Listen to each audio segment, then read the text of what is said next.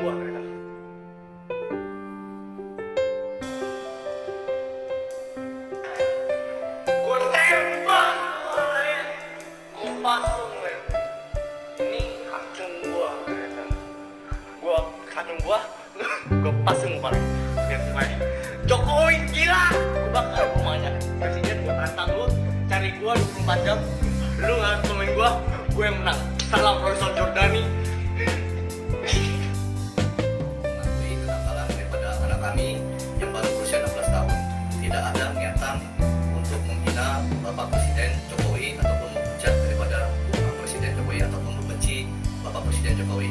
Kenakalan anak kami ini semata-mata untuk menguji kemampuan daripada pihak kepolisian dan kejadian ini sudah berlangsung sejak kurang lebih tiga bulan yang lalu. Pada kesempatan ini,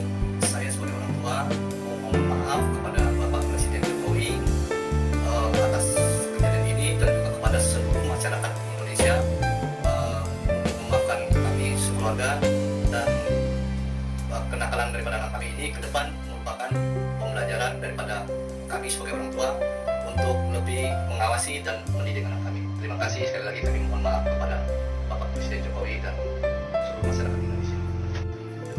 Saya Rasul Juredi,